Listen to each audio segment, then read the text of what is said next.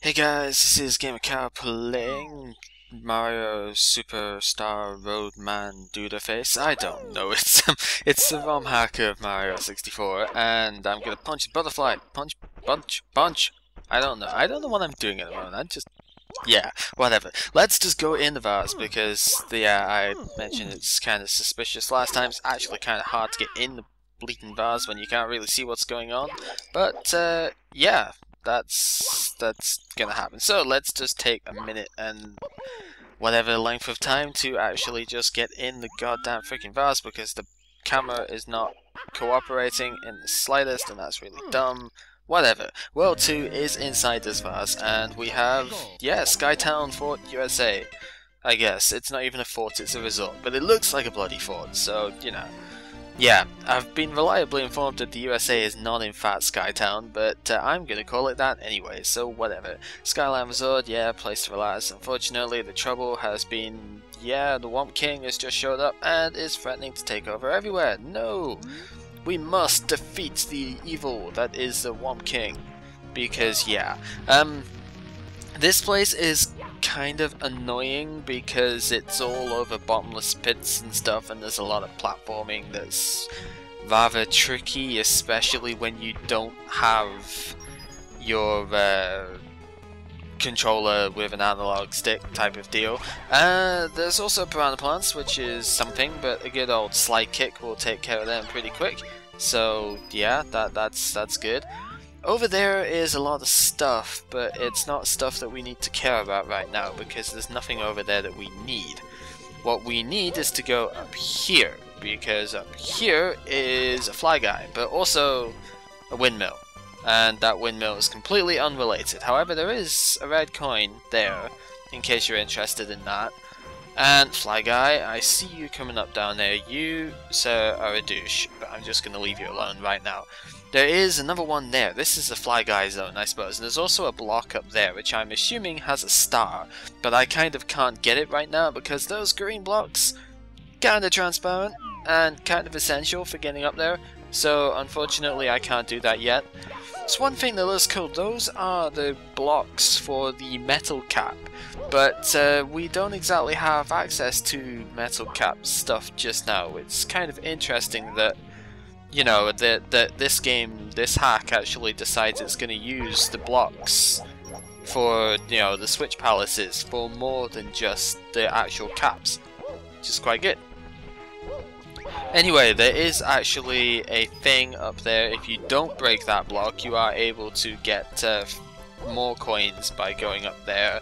I'm not sure how many it was in there, I can't remember, but um, you can, I think, also get it this way, but it's obviously a lot harder to get it doing that. You can probably long jump to it actually from the top, so that's a much easier way of doing it, which is less likely to get you killed. So yeah, I'm pretty sure there was about 10 coins in that block. So it's maybe worth getting if you're looking for coins or something, I don't know.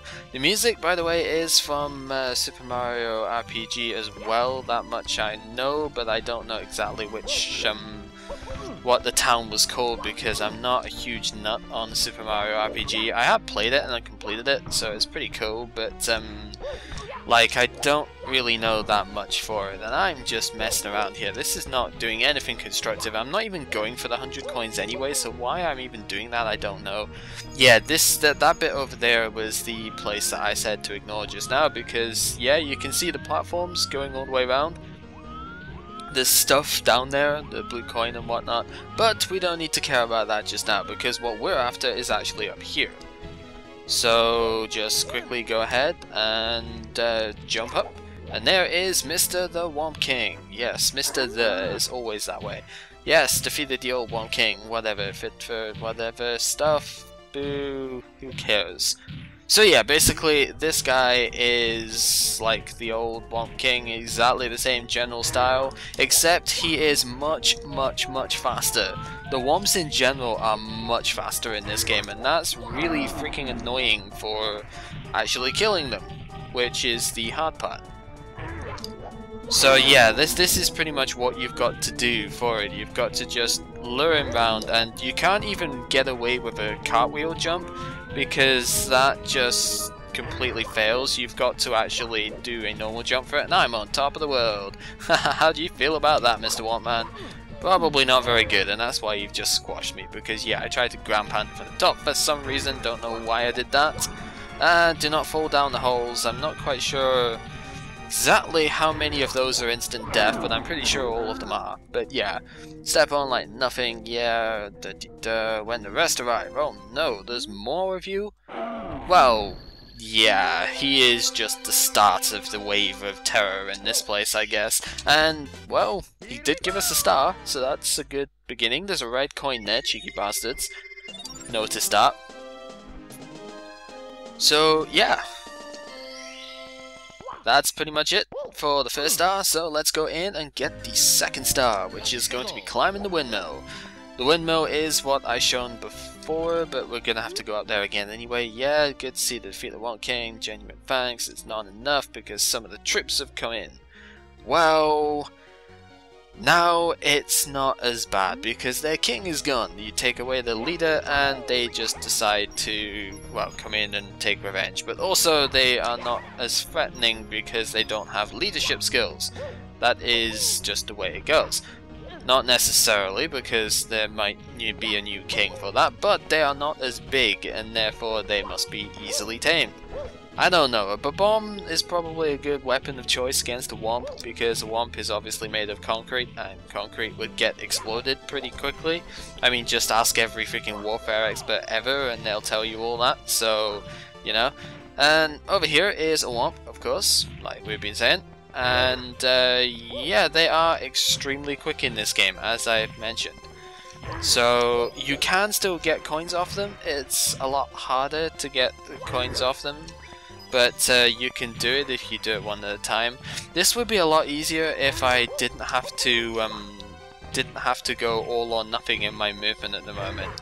That's the biggest sort of problem I'm having right now, is that I can't just turn around very quickly I've got to, um, if I turn around, it's got to be the cartwheel, which is nice, but not for the only way you can turn around.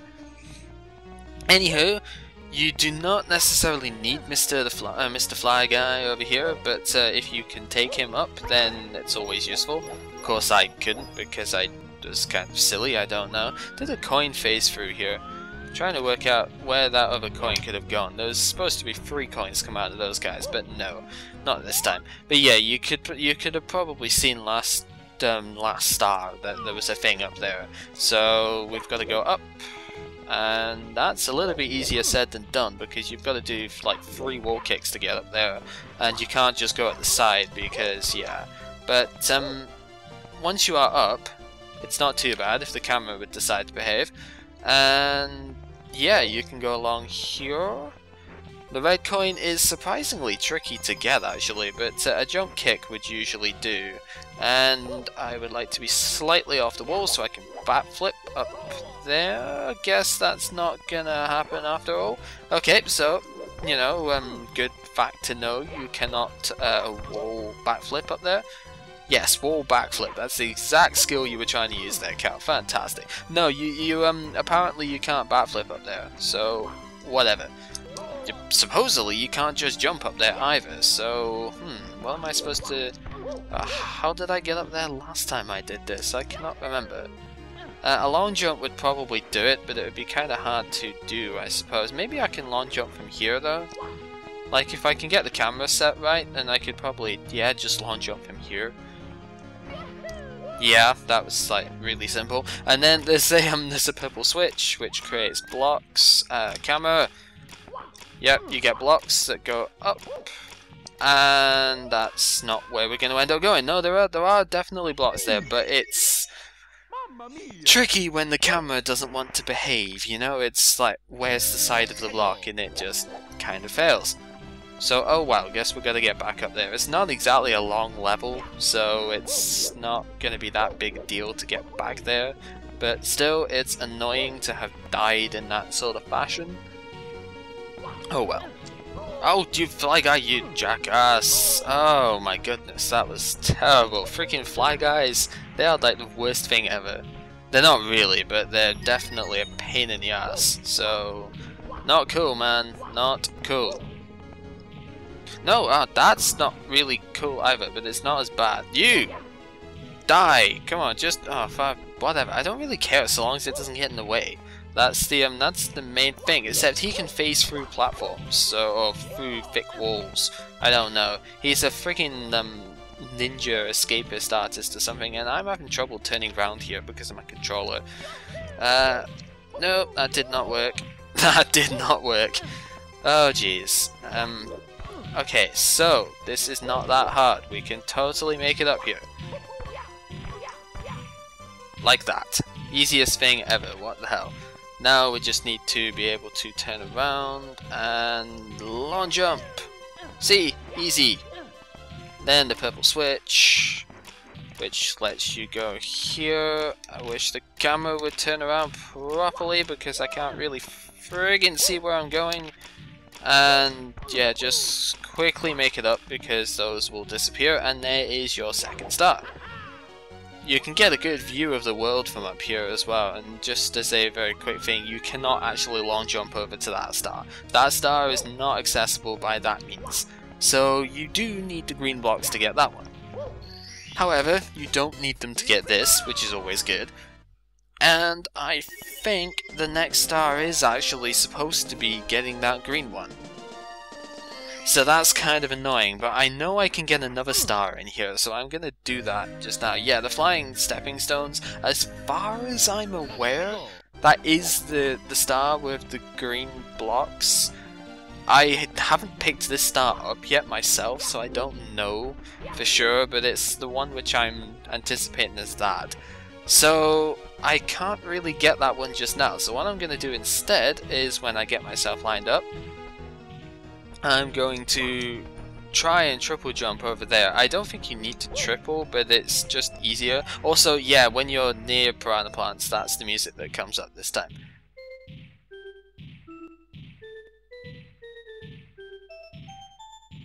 Awesome touch. Right, so...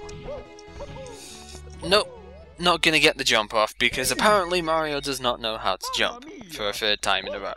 Yeah, I I don't know. It's it's kind of annoying to be honest, but it's something we will have to learn to deal with is to get the timings of everything right. Hopefully when I go back down to Birmingham and get my other controller set up, this is going to be a lot easier. But for just now, we're kind of having to put up with what we've got.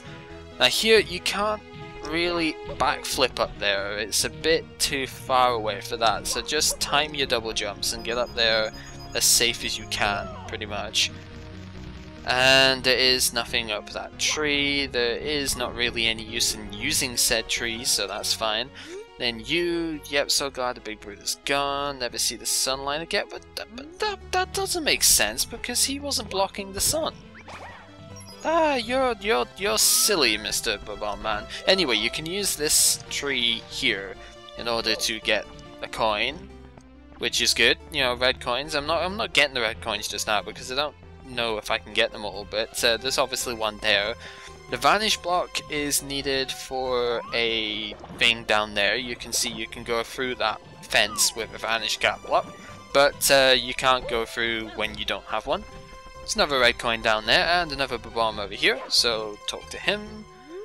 So peaceful just to sit down and watch them? Yes, it is indeed, except you're kind of useless to talking, but whatever. In here is nothing at all. There was a tree over the other side that I never showed, which actually has a uh, life in it. Uh, see if I can, can I see it from here? I think it's that one that just, no, no, no, that's from where I was. No, it'd be that one over there, has a life in it, but I never bothered getting that, so, oh well.